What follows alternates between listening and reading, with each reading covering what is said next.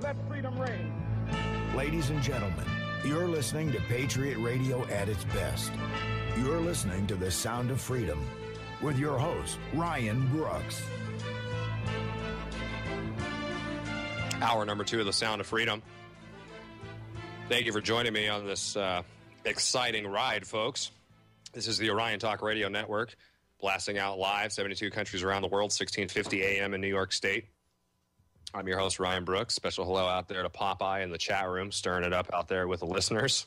Interesting discussion going on, to say the least. Now, during the break, it was accused that doing a radio show with Orion Talk Radio is a collectivist action in its own. So, we're going to just talk a little bit about collectivism versus individual individualism, if you will, being an individual individual versus being part of the collective. And I want to play for everybody real quick. I want everyone to hear what collectivism sounds like. Okay? This is only 56 seconds long, so it's going to be painful. But listen to the words that this sock puppet is saying. This is collectivism. We're going to break it down further, and then we're going to go back to the secession thing. All right? Here it is. This is a collectivist rant in front of our troops. Each of us is only here because somebody looked out for us. Not just our parents, but our neighbors and our communities and our houses of worship and our VFW halls. Each of us is here because we had a country that was willing to invest in things like community colleges and universities and scientific research and medicine and caring for our veterans. Each of us is only here because somebody somewhere had our backs.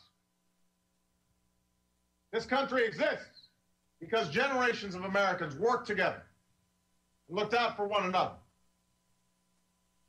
Out of many, we are one. Those are the values we've got to return to. If we do, there's nothing this country cannot achieve. Did you get that, folks? Out of many, we are one. It's all for the greater good, right? You need to sacrifice for the greater good. The country needs you, the individual, to sacrifice for the betterment of all people.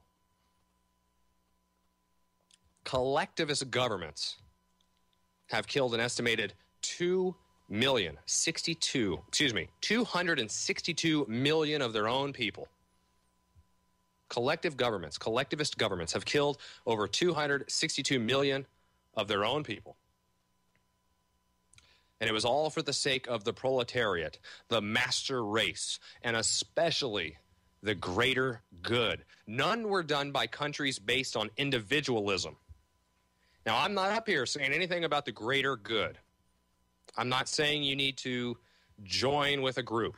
You, you, you don't need to join with Orion because we're not fighting for the greater good. I'm doing this to express my views to try to help people who are trying to find the truth, who are looking to an alternative, alternative news, who are trying to expand their horizons, who want to have an outlet that they can send friends and family to, who are starting to see the light, so to say, who are starting to come around, to have an option out there. So when people just realize the game is rigged and they want to start finding answers, that's where the sound of freedom comes in. I'm not here to tell you anything. I'm just trying to get some different views out there. And once again, and that's like my favorite saying. I, I need to stop saying that. but we have the alternative media. We have people who are pointing out where things are wrong. And it's so easy to do. There's wrong everywhere, behind every rock. It's just sick to the core. It is a cesspit. The politics are corrupt. The people are corrupt. The corporations are corrupt. We have been corrupted. But the hidden enemy within our own truth movement, it's within those people that offer hope within the system because they, them and their organizations, they profit from the funneling of your productive energies. They get your energies, your time, your money to fight the system, and they're in the system. You can't defeat the system from within. History has shown that. Gandhi didn't walk inside the system, he didn't defeat the system by being in it. He gave up on the system, and then look what he did. Same with Martin Luther King. from a historical perspective, look at Jesus. He walked way outside of the paradigm in those days, of the way of living in those days. And he accomplished much more. So if the solution must come of the opposite consciousness, like we talked about, the Albert Einstein quote, quote of the day, you cannot solve a problem with the same consciousness that created it. You must see the world anew. Collectivist action cannot fix a collectivist problem. And you heard our current uh, puppet in chief up there just spewing, just spewing collectivism. Out of many, we are one. You're not here today, military members, and there's a huge crowd of Army soldiers around him. You aren't here today on your own. Well, you know what? If I was in that crowd, I'd be offended because I didn't go to community college that the community so graciously donated their money to, or rather, was forced to through their taxes to provide an indoctrination center. I didn't go to that through the, the genius of medicine or any of that nonsense. I'm here because I was born and because my family raised me. That's why I'm here. I'm not here because Big Brother and the state and the government and all the, the greater good cared for me and gave me all these things to be who I am. Changing the puppet does not change the collective cage. If the solution must come of the opposite consciousness, then no collective organization will bring about any real change over another collective's organization power will simply change hands. And I just am trying to do this, folks, because the secession movement, like I talked about in the first hour, it's on every news website. They're all talking about it. Alternative news is talking about it. We have the Hegelian dialectic going on. Either you're with it or you're not. That's it. But what's going to happen? It's going to get hyped up, hyped up. More people are going to jump on board, and then it's going to fall short. They divide us so they can conquer us watch Texas get another 100,000 signatures before December 9th. And the president comes out and says something that inf- just pours gasoline on the fire and outrages people even more. I've said this many times. They want violence. They want violence. Now, I have a caller calling in here. So we are going to add this caller to the call. Area code 617. You are live on the Sound of Freedom. What do you have to say?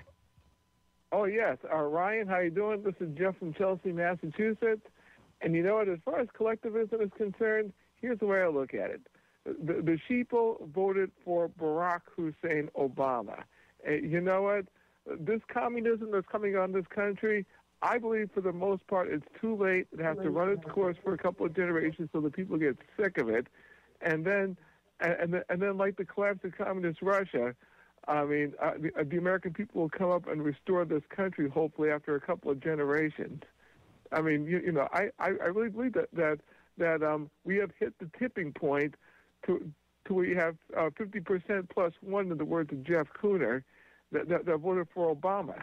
The, the, idiocracy has succeeded, and then what Obama will do is is uh, make his position much more solid, open up the gates so the foreign third world comes in, invade this country, rape this country, and I mean the foreign third world, like like Russia, China, the Middle right. East bloc, just come in, rape this country, and and and and the, and the people who who had the idea, who had an inkling of what a republic was like, 16 over, they'll be killed off, and, and then you have the stupid young people. I mean, I, I mean that's just the way it is. Democracy's destiny.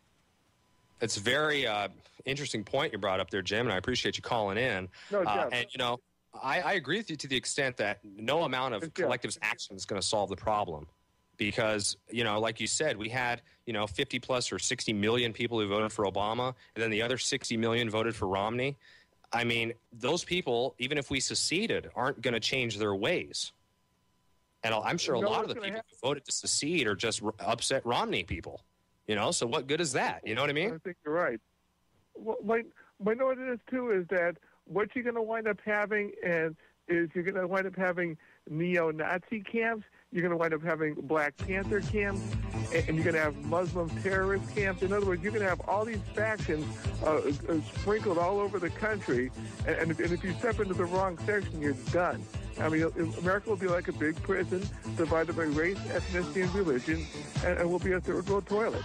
Uh, I'll let you go. Right, well, hey, thank you very Jeff, got to take a quick one. break, my friend, but thank you so much for calling in, folks. The Sound of Freedom on the Orion Talk Radio. We're going to be right back. Three minute break. Don't go away.